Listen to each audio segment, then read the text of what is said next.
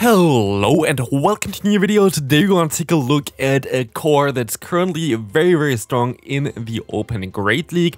We're going to take a look at the Shadow Swampert plus Shadow Ninetales core here. Actually, I have I don't know when I played those battles. Actually, it's a little bit longer ago, but uh, those battles here going to be uh, very interesting as we're going to take a look on how good the Shadow Knight is going to be here.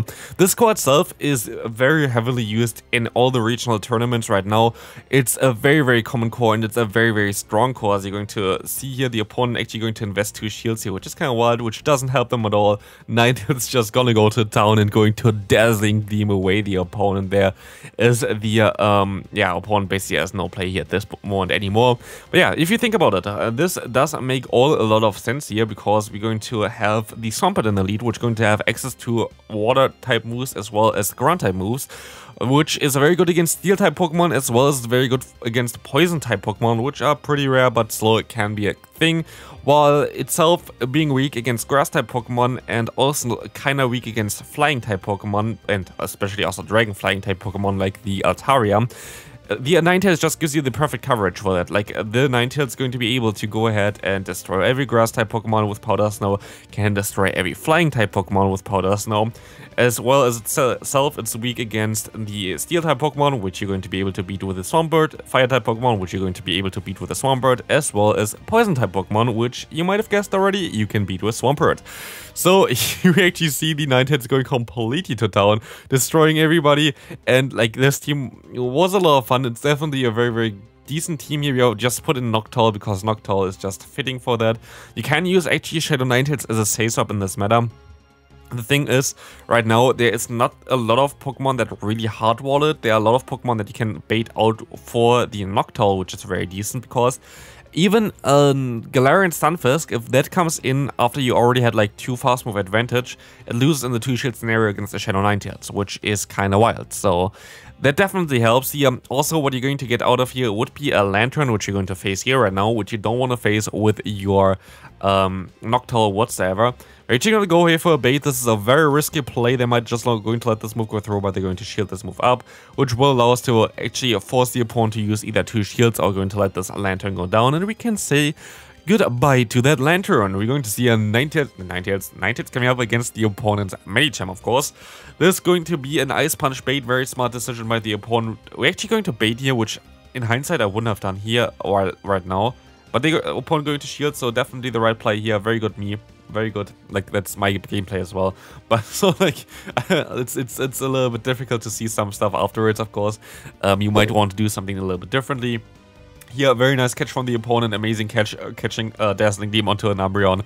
10 out of 10, and definitely helped them out a lot there, as they're going to have to now go up against our, um, our Noctowl, which will definitely have a great time against the opponent's Medicham here.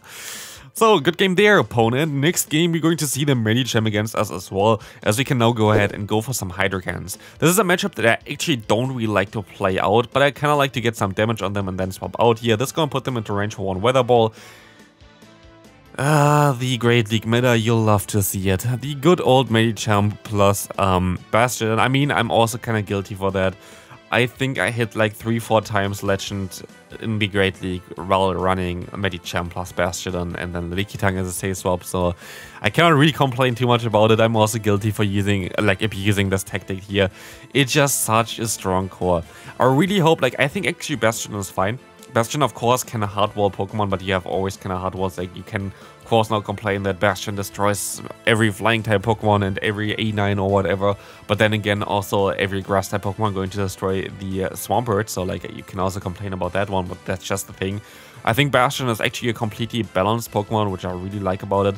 Well, now I know a ton of people are going to do go into the comments and say, oh, I disagree, whatever, whatever. But you have so many double weaknesses on Bastion, which just balances out. Like, if Bastion didn't have the extra rock typing or whatever, I think it would have made it a little bit too good or whatever. But just having a double weakness against fighting, which is a very common Pokemon that you use here with Medicham or like in general, very common coverage move as well, as well as having a double weakness against um, ground type moves, which you have everywhere in the meta as well, with the Galarian Stunfisk, with whatever. Then you have Registeel, which completely locks it down. You have even coverage on Roller Rain here, which is a ice type Pokemon that you usually don't really want to like, which you usually don't really want to have against a Bastion, but here you have access to Earthquake, which does a ton of damage.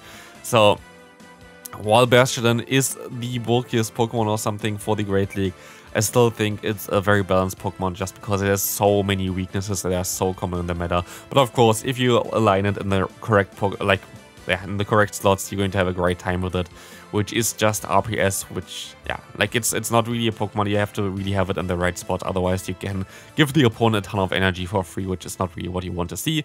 So yeah, I think it's a balanced Pokemon. I don't think this is something that you should fix. What I hope that gets fixed is Medicham though, I feel like Medicham is just taking over the meta a little bit too much. Maybe a counter nerf, maybe but just make counter the same as Poison Jab, which is still a very strong fast move, like it wouldn't completely nuke the Pokemon away or whatever, but it would make it more balanced, and I think Medicham is just too strong for the current meta. Just my opinion right now. Let me know in the comment section which Pokemon you actually would like to nerf, like, and how you would want to nerf it, because I think um, making counter a Poison Jab clone might be a very like normal idea. Like that should be definitely something that's possible because Poison Jab is still a very strong fast move. Like you see it in Nidoqueen, you see it in Nihilego and Master League.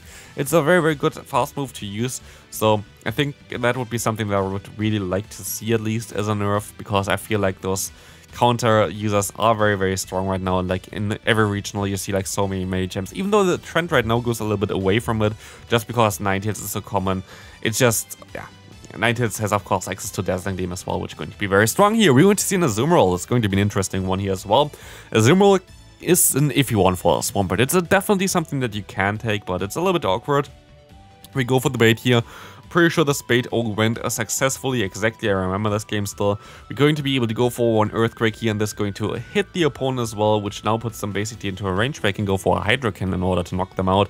After getting more damage with my fast moves in here as well, we're going to load up two Hydro Cannons here easily. The opponent is now forced to shield, but it doesn't even help them at all. Like, we just have a ton of energy. They're going to no shield here as well. As you're going to see the Trevenant coming in. They can stay in here, they can knock me out, but they have to shield once before that, because I can hit this Weather Ball here now. And this will allow me now to just go ahead and align my Noctowl afterwards against them. They can go for the Shadow Ball, their energy goes to waste no matter what, and I will be able to just wait out the switch clock here, hope that there's something weak in the back, and they're going to have a Sableye in the back. my man didn't prepare at all for the, um, yeah, for my Noctowl here, which is amazing. Water Gun Lanturn. It's such an annoying Pokemon, I hate this thing because it literally cost me my ticket to Yokohama, which is kind of funny. But um, yeah, my team during the Utrecht Regional, which you most likely saw the video on my channel. If you didn't see it, definitely check it out. Um, was really, really good. Destroyed nearly everybody 2-0, but I literally lost two times to Water Gun Lanturn, which like knocked me out as a third place. Like if the opponent didn't have a Water Gun version, Spark is so much easier to handle for me right now.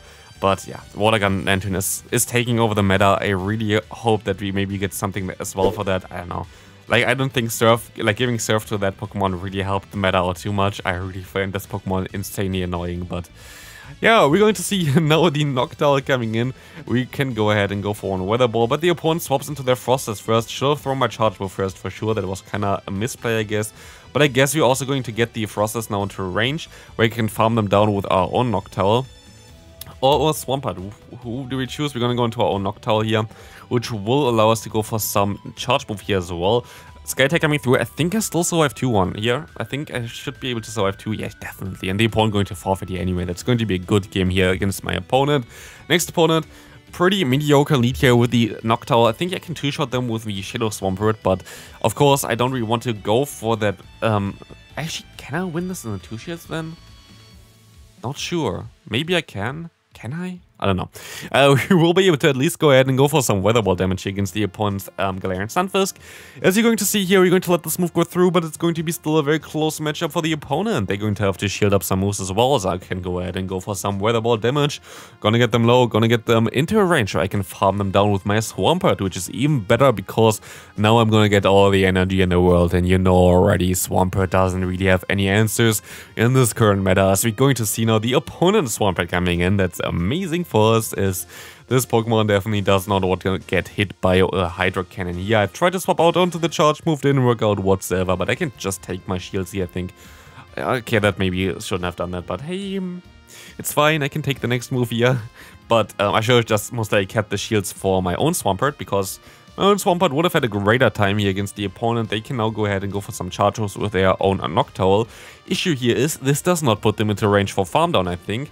But actually, no, never mind. I think it does now. Can we actually mudshot down the opponent here? This would be insane. Let's take a look at this one. We can mudshot down a Noctowl. That's amazing. And now Hydro Cannon going to hit them. I think they're going to let this move go through here, rightfully. Very good play by the opponent. Otherwise, I would have went for the Earthquake. But this still doesn't really help them, as we're going to be able to knock them out. And next opponent here going to be an awkward one, because you're going to have to face against the Deoxys defense. This Pokemon has access to the move Rock Slide right now, which is a very good move against our backline, of course, but they decide to swap out into a Galarian Stunfisk. Sadly, because they got so much damage with the counter, I don't think we're going to be able to realign our Pokemon here, especially as our IV spread from our Alolan Ninetales is not the best either. I still haven't got a single good one of them. I think I got like, I don't know, 20 or something from Rocket Radar thingies there, whatever, Rocket Grunts. But sadly, I still don't have a good Alolan Ninetales, so we still have to deal with that one. Otherwise, I would bring it to regionals as well, but I'm just not lucky with this Pokemon, which happens, I guess. It just happens. We're going to be able to shield up the rock slide here. That's amazing play by me. Always shield up the rock slide. That's definitely the most threatening move. They have a Thunderbolt. Like, why? Um, Thunderbolt doesn't really make too much sense on this Pokemon, by the way. Rock Slide is the way to go in the current meta because you're going to be able to hit those Alolan Ninetales. You're going to be able to hit those flying type Pokemon a little bit easier. And we're going to see a Mandibuzz coming in here right now. This is going to be an interesting matchup for us as they're still going to have their Galarian Stunfisk in the back we will be able to catch a move here onto our Noctowl, which will allow us to take this move pretty easily. Galarian Stunfisk coming in here. Galarian Stunfisk going to go for a Rock Slide here, and this Rock Slide going to do some pretty decent damage against me.